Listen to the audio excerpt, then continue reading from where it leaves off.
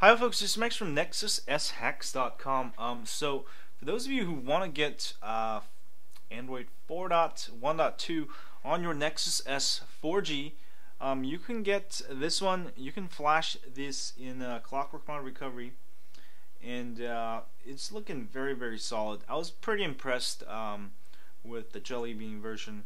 Well, I wasn't as impressed with the 4.1, the original 4.1. But with the 4.1.2, I do see um, it's even smoother than ever, and uh, I really like it.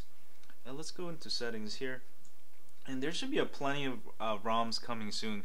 I know the 4.1.2 is being pushed out for the GSM version, um, but the Nexus S 4G is not being pushed out. But this is a lot easier doing than uh, OTA. Just download the file.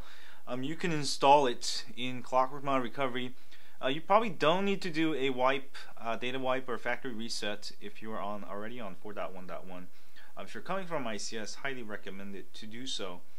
And you can see this is going to be very, very similar to the actual Sprint version. And uh, don't forget to donate to uh, XDA developer C10 Neck. I'll have the link to the credit in the credit sections on my website. Um, you can check that out.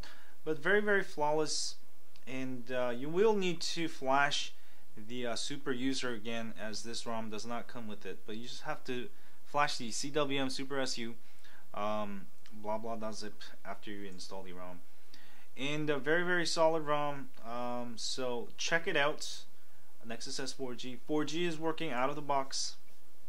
And uh, let's go look at the camera real quick. Some of the um, let's see if there's something changed here I don't think that much for the camera itself.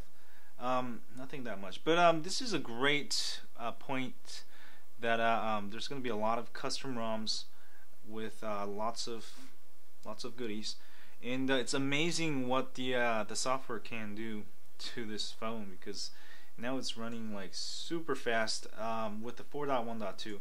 So um, so check it out, 4.1.2, and I'll be posting more uh, Jelly Bean 4.1.2 ROMs uh, probably um, this whole week, and uh, um, I guess that's it. Try it out. Let me know what you think. Battery life seems pretty darn good on this 4.1.2, um, and the 4G does work again.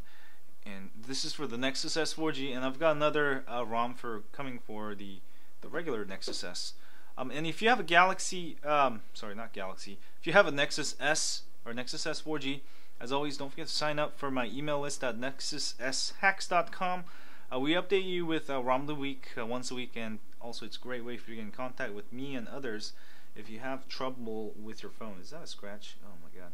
Uh, anyway, and please hit that like button for me here, subscribe button up there, and uh, uh, have a great day. And stay high on Android. And there's um, there's gonna be three files you have to flash: the ROM file uh, this the uh, the super user and the Google Apps. You can flash the ROM first, and then the the G apps, and then the um, the Super SU. Um, just flash the ROM first, and then you can flash the rest in any order you want. Anyway, thanks you guys. Um, stay high on Android. See y'all later.